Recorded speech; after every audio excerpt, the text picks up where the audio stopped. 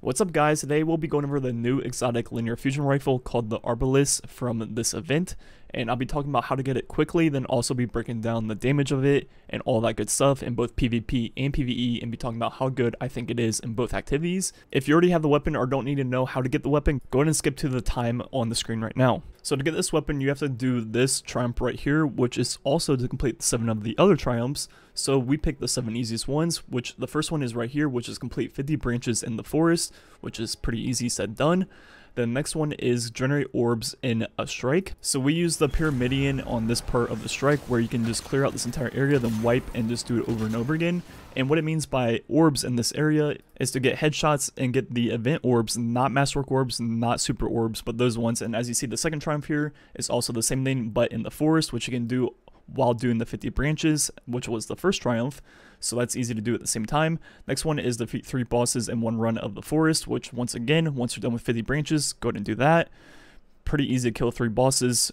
Next triumph is to kill, I believe it was 150 enemies with supers and any activity during the event, which once again, while you're clearing the 50 branches, that's pretty easy too. Just use uh, just use a good roaming super or even Nova Bomb and you should be able to get that pretty easily.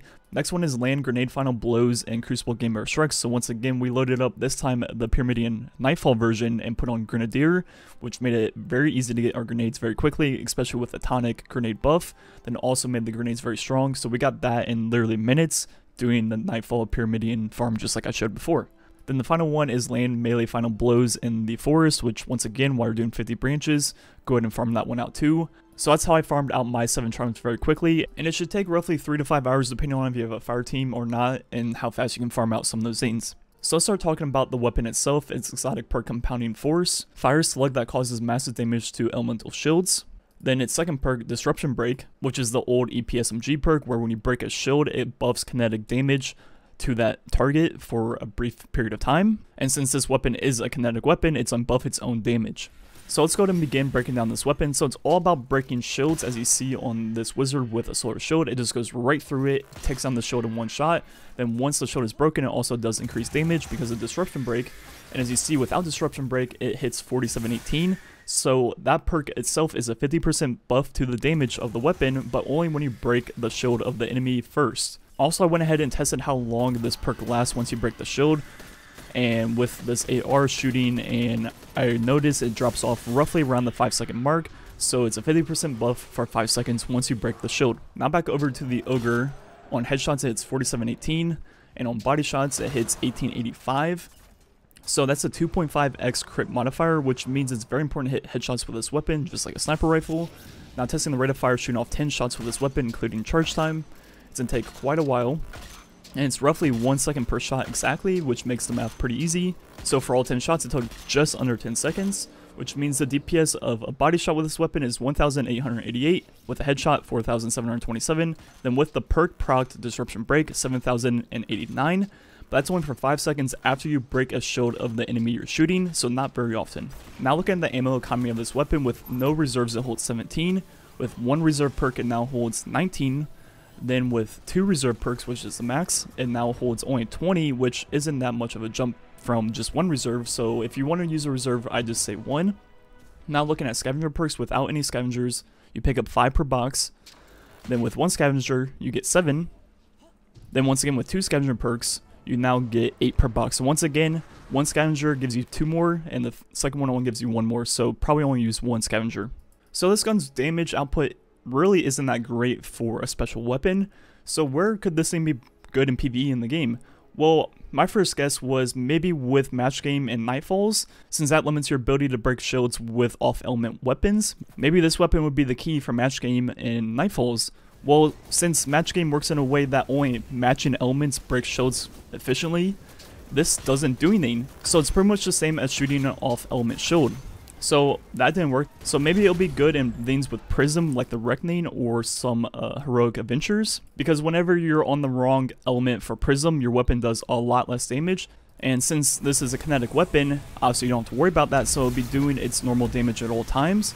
And that's definitely true, but at the same time, if you really struggle in Prism, you can make sure to have your subclass, your energy weapon, and your power weapon to be three different elements, that way you have one for everything or even coordinate with your teammates and make sure you have one power weapon of each element or one subclass of each element. That way you guys always have something good for every single 30 second rotation of Prism. So I don't think locking your exotic to a bad linear fusion rifle is the way to handle that situation. Now looking at PvP and private match, testing the damage of this weapon, headshots hits 414, then a body shot hits for 166. So pretty much if you body shot anything, anything in the game, Recluse, a hand cannon will finish it off. Then with scavengers, without any, you get one per box. Then with one scavenger, you get two. Then with two scavengers, you're going to end up getting three.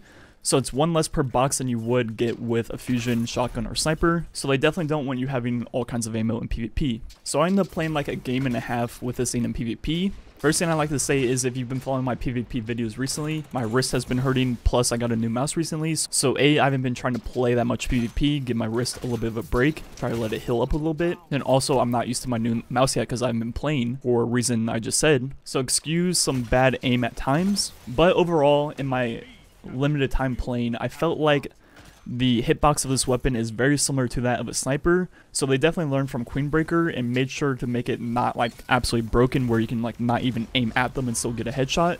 You really have to be aiming at their head to actually hit a headshot with this weapon. And on PC with no aim assist where it slows down your aim near their body, it felt very hard to use.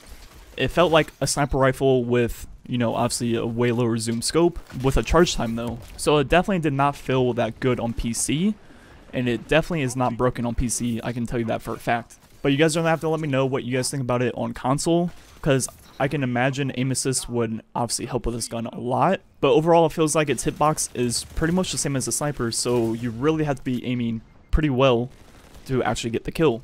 So overall to me it just felt like a sniper with a charge time, which doesn't result in a good playing experience in my opinion. But as you see in these clips, as I got more used to the weapon, I started getting more headshots, obviously chaining a few headshots back to back and stuff like that and that's only in one game of learning the weapon. So I'm definitely looking forward to making a montage with this weapon because obviously sniping is my type of thing and that's pretty much what this is. So once I get around to making that video, my opinion on it in PvP will obviously be a little bit more developed and I'll have a much more clear idea of how good it is on PC. But you guys are going to have to let me know what you guys think about console because obviously it doesn't translate one to one. So overall in PvE, I think it does what it's trying to do pretty well. It pretty much takes down any shield in the game in one shot. Then once you break the shield, it does the DPS of like a shotgun or a sniper. So I guess if that's what it was made for, it does that well. But I don't think you should be forced to break a shield just to get the DPS of the weapon close to that of a shotgun and sniper.